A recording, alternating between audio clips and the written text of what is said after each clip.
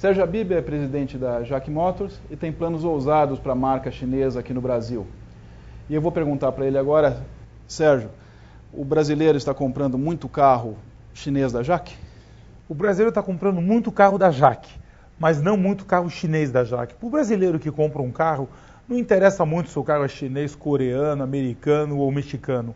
Tanto assim que nós temos no Brasil vários carros mexicanos, o puro consumidor nem sabe.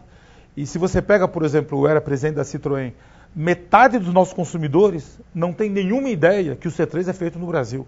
E não impede de vender o C3. Ou seja, o, o carro da Jaque, a gente faz perguntas para os nossos clientes, 30% não fazem a menor ideia de onde o carro é produzido. 15% acham que o carro é australiano ou coreano. Ou seja, quase metade do público não tem a menor ideia de onde vem o carro. O que o cliente quer brasileiro, o que o consumidor quer, é um carro com uma boa relação custo-benefício. Você está focando muito na propaganda que você está fazendo, que você oferece um carro com uma série de equipamentos que são opcionais, pelo mesmo preço de um outro carro. Equivalente com muito menos é, opcionais. Né? É, é, o famoso completão e o peladão. Exatamente. Né? Como é que você é, consegue? O, o, brasileiro quer isso mesmo? Ele, ele quer um carro completamente com, é, com, com ar-condicionado, é, direção o... hidráulica. É, isso isso está fazendo o diferencial que você está oferecendo? Está criando resultado? É, o, de fato, sem sombra de dúvida, tá. É, nós vamos vender mais ou menos 4 mil carros por mês. Eu estava imaginando vender entre 2.500 e 3 mil. E o fato de a gente dar ABS e airbag de série faz uma grande diferença. Agora, o custo. Na China, todos os carros têm ABS e airbag. Eles fabricam 18 milhões de carros.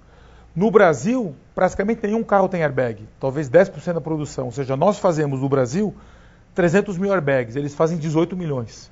Ou seja, é óbvio que o custo do airbag lá é uma fração do custo aqui, independente do custo do Brasil. Então, nós conseguimos oferecer para o consumidor brasileiro um carro com ABS airbag, roda de liga leve, um som com MP3, por um preço competitivo. E o Brasil está cansado de comprar um carro peladão. Você já está vendendo há cerca de um mês. Está é, tá dentro da, do, do, planejado, os objetivos que você traçou? Nós estamos vendendo mais do que eu tinha planejado. A gente tinha planejado entre 2.500 e 3 mil carros por mês. Nós estamos vendendo entre 4 e 5 mil. Mas o chinês é rápido para aumentar a produção. Nós já estamos no mês de maio com 5 mil carros em produção. O chinês é muito rápido para aumentar a produção. Por que, que ele é tão rápido? Porque nós estamos num mercado de 18 milhões de carros. Então, para um sistemista aumentar em 2 mil carros a produção dele, em 2 mil painéis, é muito fácil, que é um mercado de 18 milhões. Sérgio Abib, muito obrigado por sua entrevista para Automotive Business TV. Obrigado.